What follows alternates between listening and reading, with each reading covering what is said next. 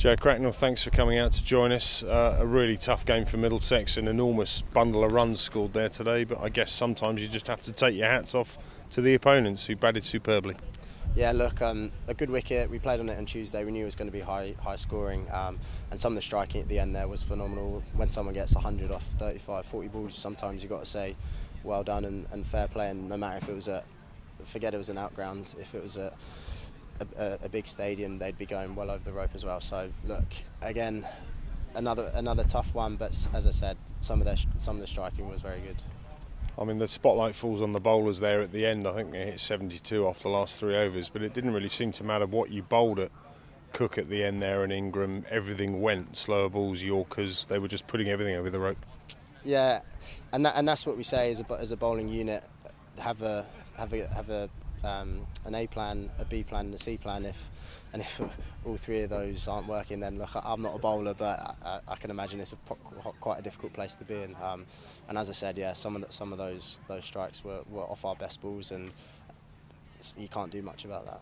Yeah, absolutely. Uh, in terms of our run chase, we put up a pretty damn good show of it. Um, yourself and Esky putting on 150 odd for the first wicket, both going at a strike rate of 200 odd. There's not too much more chasing 12 and over that you guys could have done at the top end. Yeah, exactly. Look, we we're pretty pleased with, with how we went about it. We always said look, nothing to lose and, and, and play without any fear. And I think at 11 or 12 overs we were right in amongst it. Um, but as soon as you as soon as you're chasing a total like 240, you have to be inch perfect. And if we lost uh, Esky myself, uh, went in within the space of two overs, and for the guys coming in, it can be quite difficult to um, hit the boundary and hit, hit sixes from the first ball. So, as I said, when we're chasing a big total like that, you have to be inch perfect, and, and unfortunately, we, we weren't quite there. Joe, four losses from the opening four games. It doesn't get any easier. We're down to the West Country for two tough games in the next few days. Um, how do you bounce back from this?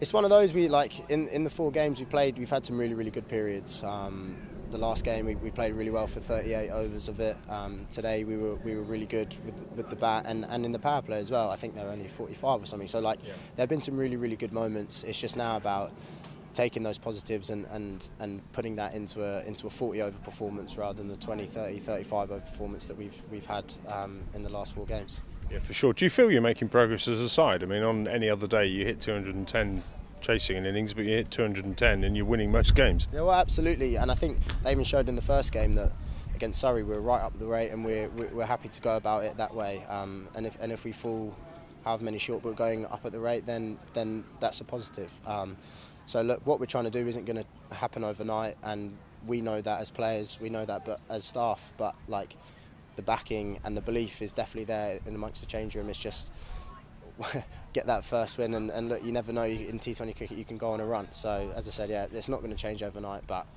it's one of those we, we, we keep going. Yeah, that's good to hear. Well, mate, you've played your part today, really well batted. Shame we couldn't get over the line, but uh, good luck down in the West Country. Thanks very much. Cheers, guys.